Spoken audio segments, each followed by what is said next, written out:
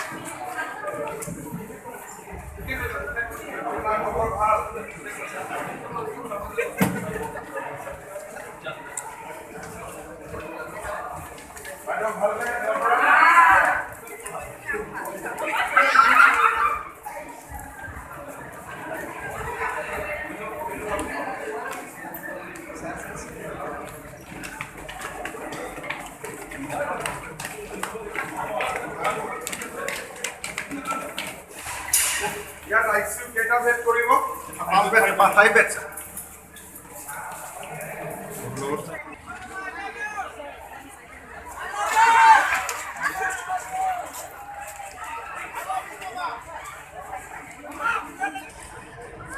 এয়া সন্মানীয় বিধায়ক শ্ৰীযুত বলিন চেতিয়া ডাঙৰীয়াক সন্মান প্ৰদৰ্শন কৰা হৈছে চৰকাৰী চিকিৎসালয় আজি ৰাইজৰ প্ৰতি উৎসৰ্গাৰী অনুষ্ঠানত উদ্বোধক কৰা সকলোৰে মনৰ জনপ্ৰিয় মন্ত্ৰী হেমন্ত বিশ্ব শৰ্মা ডাঙৰীয়া প্ৰধানমন্ত্ৰী প্ৰতিম অসম চৰকাৰৰ ৰাজ্যিক মন্ত্ৰী শ্ৰী গগৈ ডাঙৰীয়া জিলা পৰিষদৰ সভাপতি ললিত মৰাণ ডাঙৰীয়া সন্মানীয় মঞ্চপুষ্ট অতিথিসকল সাংবাদিক বন্ধুসকল সন্ধিয়া বিভিন্ন প্ৰান্তৰ পৰা অহা শ্ৰদ্ধাৰ ৰাইজ আজি আমাৰ এই সভাত আমাৰ মাজত উপস্থিত থকা অসম চৰকাৰৰ মোৰ সতীৰ্থ মন্ত্ৰী সঞ্জয় কিষাণ ডাঙৰীয়া শদিয়া সমষ্টিৰ সন্মানীয় বিধায়ক অসম গেছ কোম্পানীৰ অধ্যক্ষ বলিন চেতিয়া ডাঙৰীয়া প্ৰণাম আয়োগৰ আয়ুক্ত আয়ুক্ত যোগাবালা বুঢ়াগোহাঁই ডাঙৰীয়া আমাৰ সকলোৰে শ্ৰদ্ধাৰ সত্ৰাধিকাৰ মুনমুনদেৱ মহন্ত বা আমাৰ কাকপথাৰৰ চুপুহা সত্ৰৰ নবীন মহন্ত ডাঙৰীয়া আমাৰ মাজত উপস্থিত এন এক্স এমৰ ৰাণা প্ৰসাদ বেজবৰুৱা নীত কুমাৰ শৰ্মা ভাৰতীয় জনতা পাৰ্টীৰ শদিয়া জিলা সমিতিৰ সভাপতি যুধিষ্ঠিৰ গগৈ তিনিচুকীয়া জিলা পৰিষদৰ অধ্যক্ষ ললিত মৰাণ আৰু শদিয়াৰ এছ ডি অ' শ্যামল ক্ষেত্ৰ গগৈকে আদি কৰি মঞ্চত উপবিষ্ট বিশিষ্ট ব্যক্তিসকল আই মাতৃসকল যুৱক যুৱতী বন্ধু বান্ধৱীসকল আৰু মোৰ অতিকে মৰমৰ ছাত্ৰ ছাত্ৰীসকল মই আজিৰ পৰা প্ৰায় দুবছৰ আগতে শদিয়ালৈ আহি শদিয়াৰ নতুন মহকুমা চিকিৎসালয়খনৰ আধাৰশিলা কৰিছিলোঁ।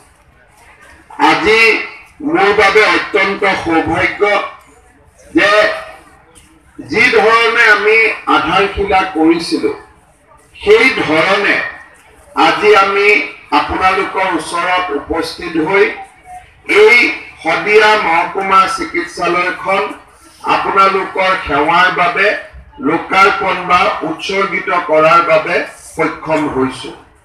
আপোনালোক সকলোৱে জানে যে প্ৰায় বিশ কোটি তেৱন্ন লাখ টকা খৰচ কৰি এই শদিয়া মহকুমা চিকিৎসালয়খন সুন্দৰভাৱে নিৰ্মাণ কৰা হৈছে। এই চিকিৎসালয়ৰ সন্মুখত আপোনালোকে জানে যে আগৰ চৰকাৰৰ দিনত কেতিয়াবা আধাৰশিলা হয় কেতিয়াবা অলপ কাম হয় কিন্তু বিজেপি চৰকাৰৰ দিনত আমি যদি ৰাস্তাৰ আধাৰশিলা কৰো ৰাস্তাও শেষ হ'ব লাগিব। হস্পিটালৰ যদি আধাৰশিলা কৰো হস্পিটালো শেষ হ'ব লাগিব। কলেজৰ যদি আধাৰশিলা কৰো কলেজো নিৰ্মাণ শেষ হ'ব লাগিব। আজি সেই মহান সংকল্পৰে খোজকাঢ়ি এই শদিয়া মহকুমা চিকিৎসালয়খনো আজি আমি মুকলি কৰিবলৈ সক্ষম হৈছো। এই শদিয়া চিকিৎসালয়খন আজি আমি মুকলি কৰাৰ কিছুদিনৰ ভিতৰতে ইয়াৰ সকলো আধুনিক সা সঁজুলি আহি পৰিব আৰু অত্যন্ত কম দিনৰ ভিতৰতে ইয়াতে আমি অপাৰেশ্যন বা চাৰ্জাৰী কৰিব পৰা অৱস্থাত আহি উপনীত হ'ম।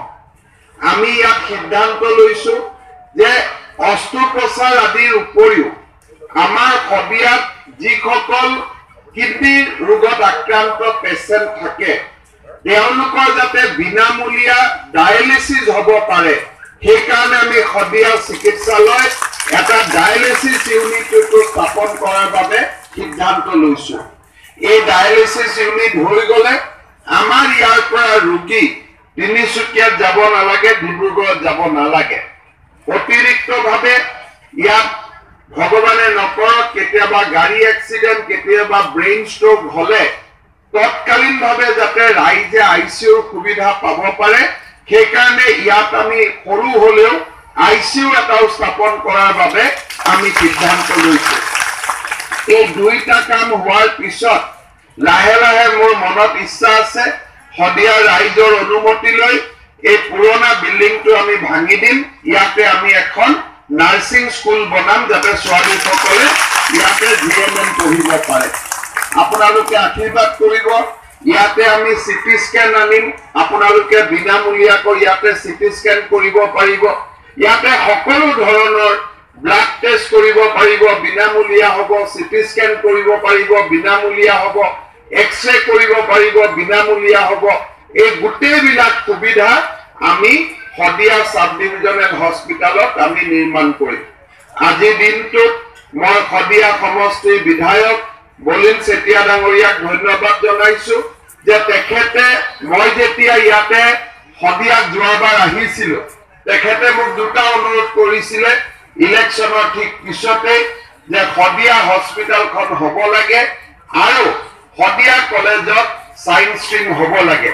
এই দুইটা কাম তেখেতে বিচৰা ধৰণে আজি ৰাইজৰ ওচৰত মই সম্পূৰ্ণ কৰি দিবলৈ পাই মই নিজকে কৃতজ্ঞ অনুভৱ কৰিছো।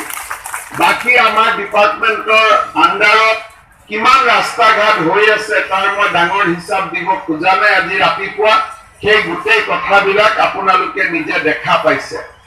যোৱাবাৰ যেতিয়া মই শদিয়াত আহিছিলো তেতিয়া বলিন চেতিয়া ডাঙৰীয়াই কৈছিল যে শদিয়াৰ মাটি জৰীপ হ'ব লাগে যাতে মানুহে মাটিৰ পট্টা পাব পাৰে।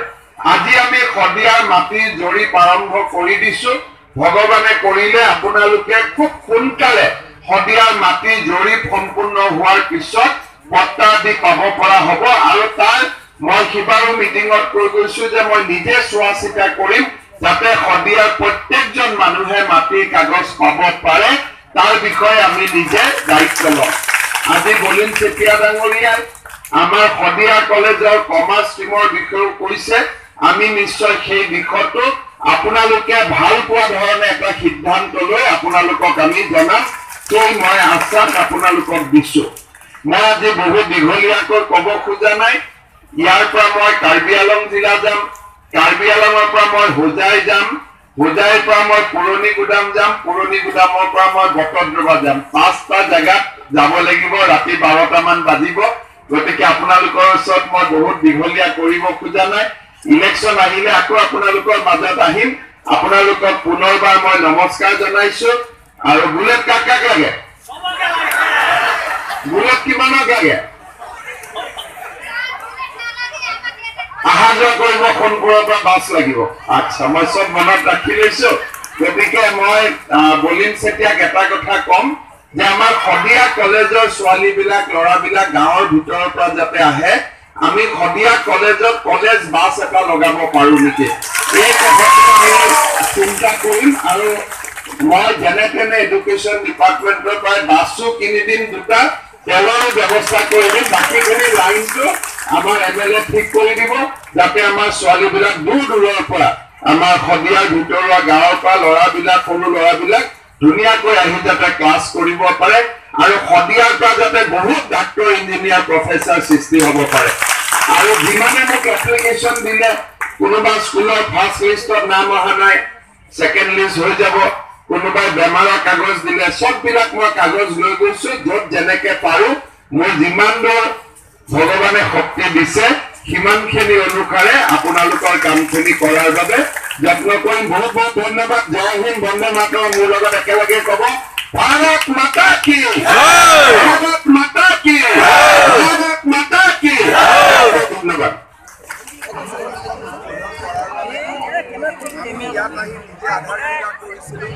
আৰু আজি দুই বছৰৰ ভিতৰতে উদ্বোধনো কৰিব পাৰিলোঁ মোৰ বাবে গৌৰৱৰ।